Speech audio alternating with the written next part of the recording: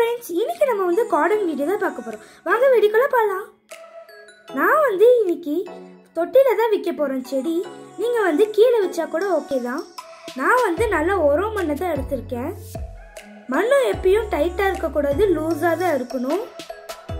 பக்கத்தில் பச்சை மிளகா செடியும் சங்கு புஷ்பம் செடியும் வந்திருக்கு சங்கு புஷ்பம்னா உங்களுக்கு தெரியும்னு நினைக்கிறேன். மண்ணு எப்பயும் லூஸாக தான் இருக்கணும். இது வந்து கொத்தமல்லி செடி. மண் எப்பயும் லூஸாக தான் இருக்கணும். ஏன்னா அது வந்து ரொம்ப டைட்டாக இருந்துச்சுன்னா எந்த செடியும் அவ்வளோ சீக்கிரமாக வளராது. உங்கள் செடி மண்ணும் டைட்டாக இருந்துச்சுன்னா கொஞ்சம் லூஸ் பண்ணிக்கோங்க. செடி வளர்ந்துட்ட அப்புறமா கூட அது வந்து வேரில் படாமல் லூஸ் பண்ணிக்கலாம்.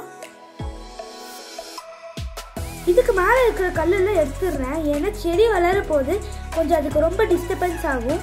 அப்புறம் சமம் பண்ணிக்கிறேன்.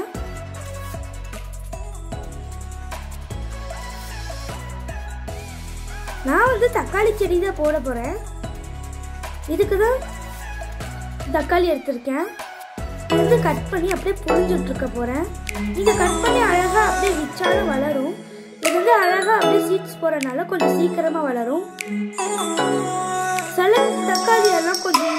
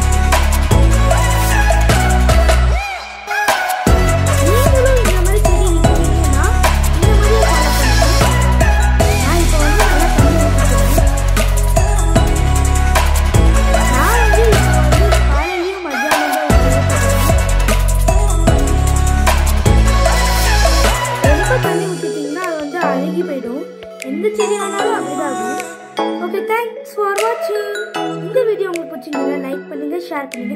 மறக்காம சப்ஸ்கிரைப் பண்ணிடுங்க.